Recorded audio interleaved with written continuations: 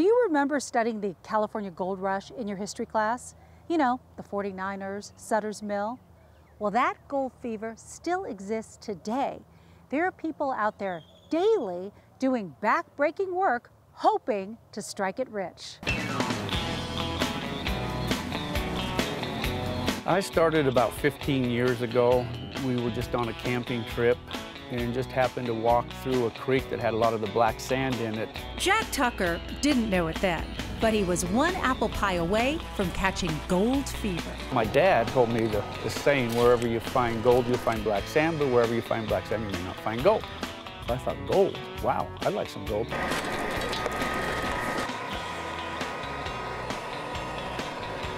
I went up to look for a prospecting store, somewhere, a place I could find a gold pan. No gold pan to be found. Of course, it was Easter weekend. So I bought a pie just so I could get the tin from the pie, and that was actually my first gold pan. Today, Jack is part of the Miners Creek Prospecting Club in Wickenburg. We have approximately close to 300 members. A lot of them are winter visitors. We go out as a group and prospect and uh, share the gold.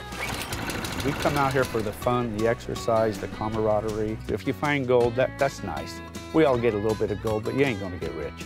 There are all kinds of ways to look for gold, some more sophisticated than others.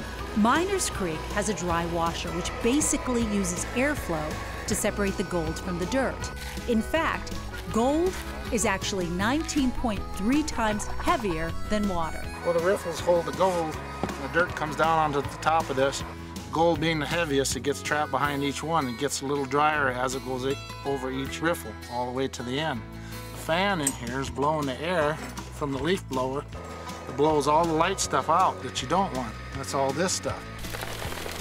Comes out, blows out, and keeps the gold in. That's gold. Oh, yeah. There's a nice little flake right there. And it's always good when you get gold.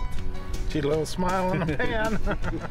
So if we do that about uh, 50 times. you might have enough to go buy yourself a loaf of bread, huh?